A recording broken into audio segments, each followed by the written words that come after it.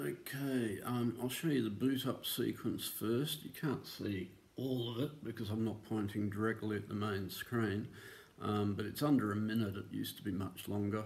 Also, you notice this is a reverse image.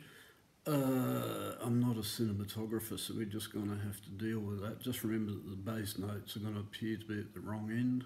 Um, that's because I'm doing this on an iPad. Here we go, power's on now. And it takes, I don't know, about 40 seconds, I guess. Um, you get a greeting from John Bowen on there, it tells you what it is. Uh, developed by Sonic Core.